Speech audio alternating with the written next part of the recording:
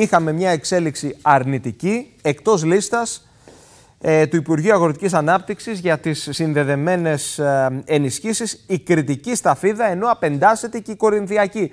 Πάμε στο Μύρον Χιλετζάκη, τον ε, αντιπρόεδρο της ΕΑΣΥ. Την καλησπέρα μας κύριε Χιλετζάκη.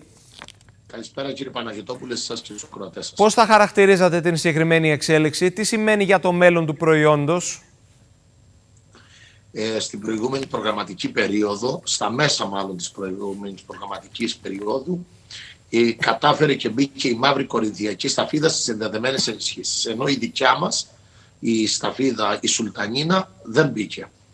Όταν μιλάμε για συνδεδεμένη ενίσχυση, μιλάμε για ένα έξτρα πριν και ένα κίνητρο καλλιεργητικό του παραγωγού.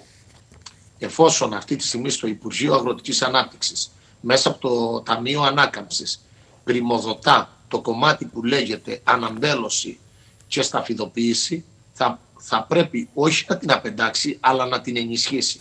Τα δύο τελευταία χρόνια, οι σταφιδικές εταιρείες, οι μεγάλες, ειδικά οι συνεταιριστικές, η ΞΟΣ, αλλά και οι, οι η Κορίνθου, η Παναγιάλιο Ένωση αντιμετωπίζουν σοβαρά προβλήματα στο κομμάτι της διάθεσης του προϊόντος. Υπάρχουν χιλιάδες τόνοι σταφίδα μέσα στις αποθήκες που δεν πουλούνται και σε όλα αυτά οφείλεται ο κορονοϊός και το κλείσιμο της εστίασης. Αν δεν αποδεσμευτούν οι χιλιάδες τόνοι, τότε θα καταρρεύσει τελείως το κομμάτι που λέγεται σταφίδα. Και θα φέρω ένα παράδειγμα, καταλάβουν οι ακροατές. Οι τηλεθεατές, συγγνώμη ε, 16.500 τόνους έκανε παραγωγή το 2019 η Παναγιάλιο Ένωση στην Πελοπόννησο, Κορινθιακή και Ξανθιά Σουλτανίνα ε, και από τους 16.500 τόνους η εξαγωγή ήταν οι 16.000 τόνοι. 500 τόνους μόνο στα φίδα έδωσε στην εσωτερική αγορά. Αυτό καταλαβαίνουμε ότι υπάρχει μια μεγάλη ζήτηση στο εξωτερικό, είναι υπερτροφή, κατατάσσεται στα superfruit ναι. και στο σχεδιασμό για τη νέα ΚΑΠ είναι σημαντικό να μπει σε συνδεδεμένες ενισχύσεις και να μην την πετάξουμε έξω την ξανθιά αρχόντισσα που λέγεται Σουλτανίνα. Η Σουλτανίνα τη δεκαετία του 80 μεγαλούργησε στο νομό Ηρακλείου, παρήγαμε 100.000 τόνους στα φίδα και εφόσον μιλάμε για αναμπέλωση μέσα από το Ταμείο Ανάκαμψης, κατευθείαν μεταφράζεται και η συνδεδεμένη ενίσχυση. Επομένως, η απόφαση που πάρθηκε, εμείς θα την προσβάλλουμε.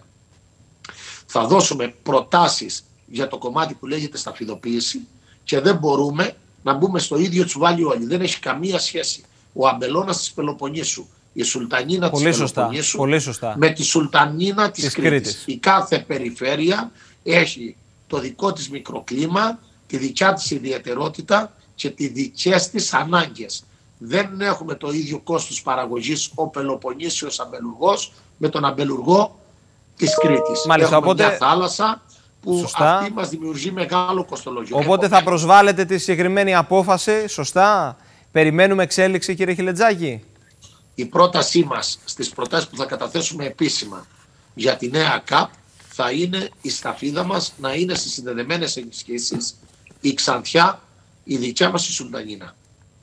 Μάλιστα. Ε, και μια εξέλιξη που θα κρατήσει ζωντανό και το παραγωγικό ενδιαφέρον. Από εκεί πρέπει να ξεκινήσουμε.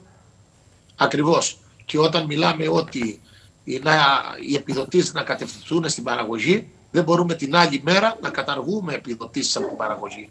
Οι συνδεδεμένες ενισχύσεις αυτές, το λέει και η λέξη, συνδέονται με την παραγωγή παράγω και τις παίρνω. Δεν παράγω, δεν τις παίρνω. Κύριε Χιλετζάγη, ε, ερώτηση. Η, η, η, τελική απόφαση, ε, μάλλον έχει πάρθει η τελική απόφαση από το Υπουργείο Αγροτικής Ανάπτυξης αναφορικά με τη λίστα των συνδεδεμένων. Είναι πρόταση ή απόφαση αυτή που αφορά την Κρήτη; Η, η απόφαση που παίρνετε ναι. σε μια προγραμματική περίοδο που το τέλος της έρχεται σε ένα μήνα. 31 Δεκεμβρίου το 2021 ναι. αφορά την προγραμματική περίοδο αυτή που τρέχει.